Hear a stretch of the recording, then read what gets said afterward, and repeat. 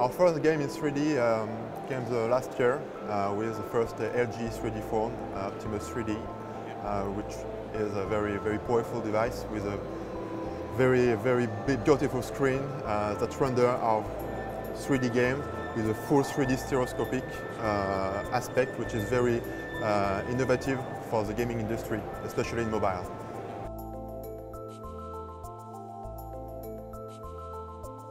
It's all about immersion, uh, how you, you make the game immersive for the player and how you can have a, the, the, very, the, the best aspect for a game for the player. So the stereoscopic 3D is very is a key feature if you want to have the best experience on a, a mobile device. So we rely really on this feature to, to, give the best experience for the customer, for the client, for the player.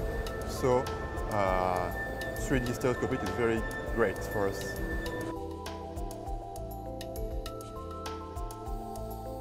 Yes, it's very different. You have to rely on a powerful hardware to move all the things you have on the screen.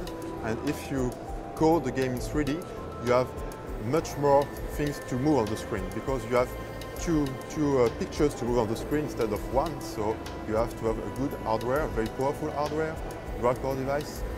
And uh, from the coder, uh, when you want to code the game, you program the game, you have to change your mind on how you do the game for this kind of device, which is very specific. For instance, if you take a FPS, like uh, Modern Combat, for instance, uh, you have to do the game not only with one view, but with two views to, to render the stereoscopic aspect of the game. And this is completely new for us when you are on a 3D device. And you have to adapt the way you do the game to have the best rendering on the screen.